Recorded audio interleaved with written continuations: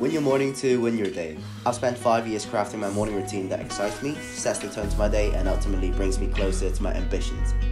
Here is it from start to finish. I hope you enjoy. I usually wake up at 8 a.m. or 9 a.m. on weekdays after 8 or 9 hours of sleep. First thing I do is turn off the alarm and ask Alexa to play some music to put me in a soothing but also exciting mood. I don't use my phone until later in the routine.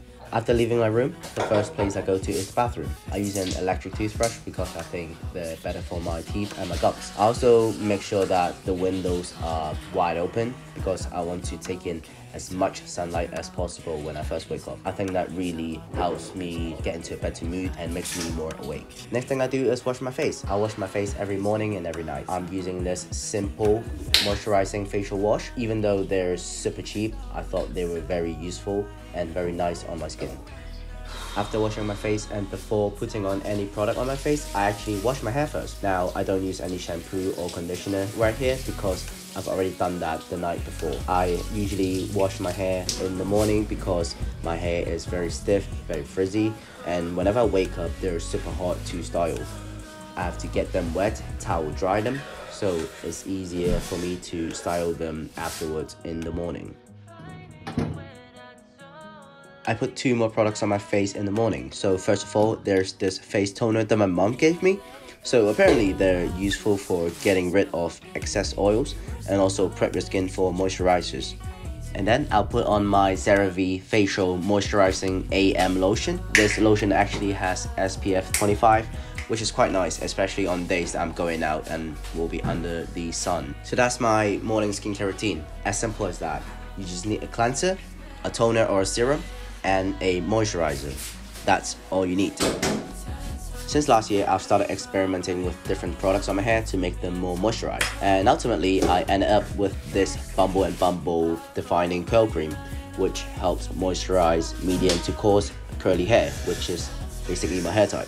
And they've been very useful, make my hair less frizzy, and also helps the curl stay curly, I guess.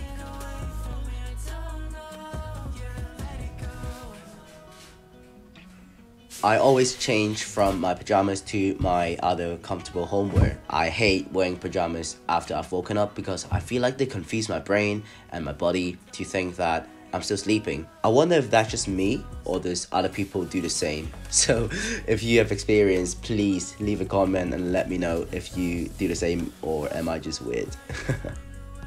The next thing I do is a 5 or 10 minutes guided meditation. I've been meditating on and off for a few years now. It takes a while for you to see the benefits, but once you do, I think they're integral to anyone's routine. They help you gain so much more perspective, calmness, which helps with decision making, stress control, and just makes you more happy. I also try to drink close to a liter of water every morning because after a long night of sleep, your body really gets dehydrated. So drinking a lot of water in the morning is a great way to rehydrate your body. And I'm not sure if it is just me, but I think that drinking water in the morning also wakes me up a bit. Next thing I do is my morning journal.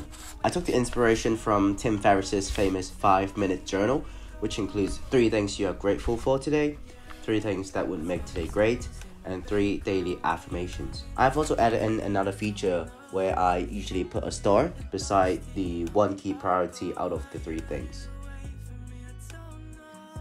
After playing with it and experimenting for a few years, I have taken out the affirmation part as I do not think it works too well personally. I have found that the gratitude part really puts me in a much more grateful, happy mood in the long run. The three daily aims is also crucial to my morning routine because it sets the focus of the day. Just like what Steve Jobs said, focus does not mean saying yes to the things you've got to focus on, but means saying no to the hundred other good ideas that there are. Or, as James Clear said, focus is the art of knowing what to ignore.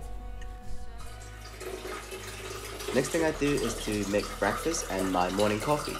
I usually have yogurt, granola, bread, or bagels for breakfast. However, today I realized that I just ran out of breakfast food, so I had to think of something else. I ended up making this shrimp breakfast wrap kind of thing. Wasn't as bad as I thought it would be. I also love having my morning coffee. I started out drinking instant coffee a few years ago, and back home I usually use Nespresso pots. But living by myself now, I can't afford spending the extra, so I have been using grounded coffee as a compromise. I have a French press as well as a coffee filter for pour over coffee. I usually opt for the latter. I alternate between black coffee, coffee with regular milk, and coffee with oat milk. I've not used regular milk as much as I used to, so nowadays I usually just alternate between black coffee and coffee with oat milk, depending on my mood. And today I feel like drinking coffee with oat milk, so I usually use this Califia Farms Oat Barista blend, and I think that it is the best tasting oat milk out there. So I've been crafting my morning routine for five years now, thinking back.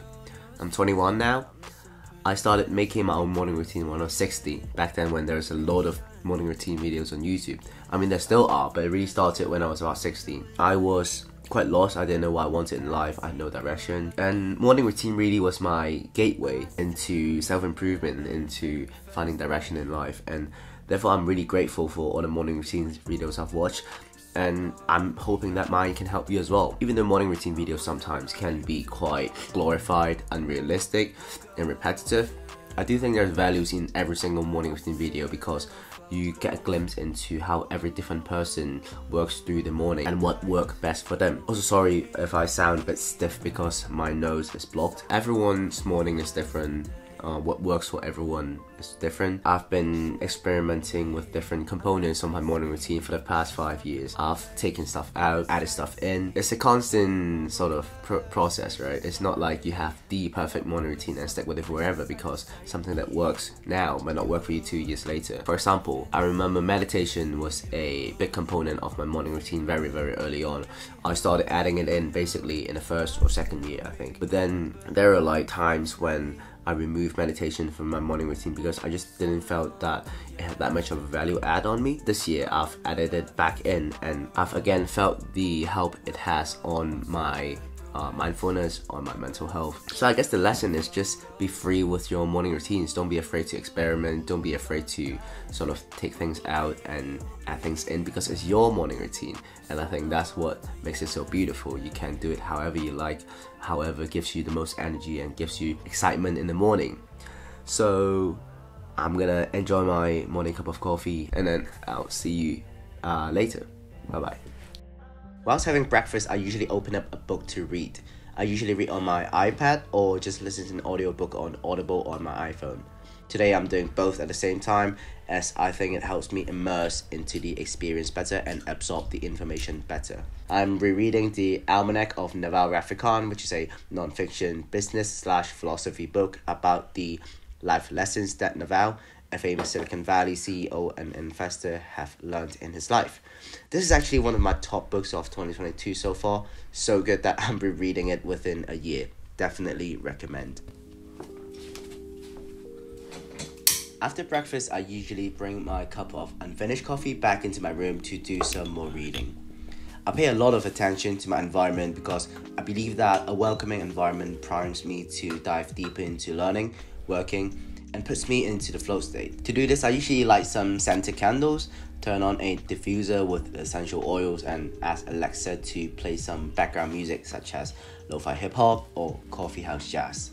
Something with no lyrics that won't distract me. Let's talk more about reading because I think it is one habit that everyone should have. You learn so much through reading books you actually enjoy, and that hunger to learn only grows the more you read, which I think is brilliant. So right now on a typical day, I usually read around 15 to 20 minutes in the morning. I set a timer so I won't have to keep looking at the clock and I can really dive into the book. Reading a great book, sipping on my morning coffee and pondering on ideas mentioned in the book is easily one of the highlights of my day. After reading, I finally start working. I check emails, check any text messages that I have to make sure that there's no emergency that I have to get done. Then I usually sit at my desk with my laptop and work until lunchtime. Everyone can and should build a morning routine. It lets you take back control of your time in an age where everything demands our attention. It helps you do what matters to you most. I hope you enjoyed and if you're struggling to spend less time on your phone, here's a video that I think you might like. And for that, I'll see you soon.